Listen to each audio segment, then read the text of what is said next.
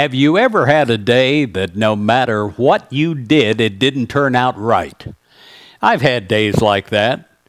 And you're, you're exhausted, truly, going through the day. You're trying as hard as you can, but everything that you touch, it doesn't turn out. It turns the other way.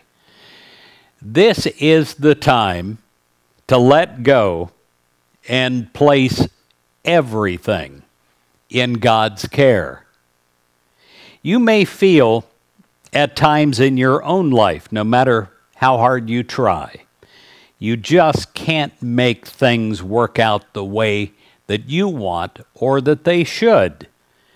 Then you know that it is time to let go. You let go and you let God work through you to bring order to your activities. Like others, from time to time, you face challenges that leave you feeling inadequate or, or frustrated because you know how things should be. You know and you want things to be the way they should be, and yet they're not. Letting go and letting God get you past these feelings and helps you bring things into a point that you can see a bigger picture.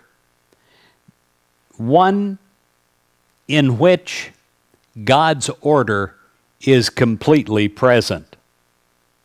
So you make letting go during days like that a moment by moment, situation by situation practice. And you begin with small, everyday occurrences, including everything that comes by your way.